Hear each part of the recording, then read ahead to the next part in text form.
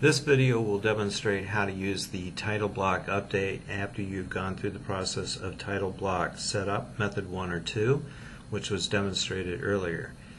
Now the process will be to bring in that title block into the drawing.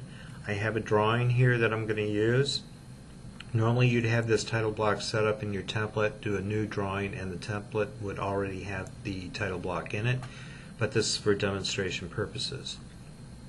First thing I'll do is I'll insert the block, which we will go to it right here, and we're going to use the original one here, and we're going to open it. Now in this, what we want to do is we want to just place it into the drawing. At that point you can see that the uh, attributes are not displayed, but the M text is.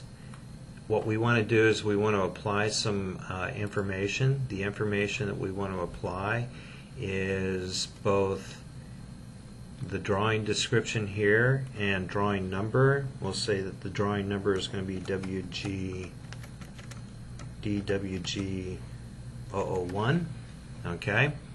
We'll say OK. At that point, we also want to apply the project descriptions, the very first project description line.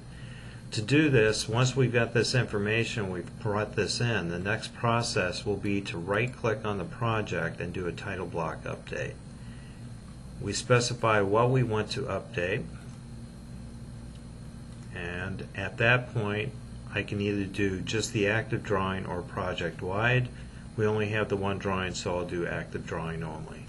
Say OK, and at that point you can see that it supplies the project line 1 that was in the project properties, drawing description 1 that was in the drawing properties, and the drawing number that was in the drawing properties.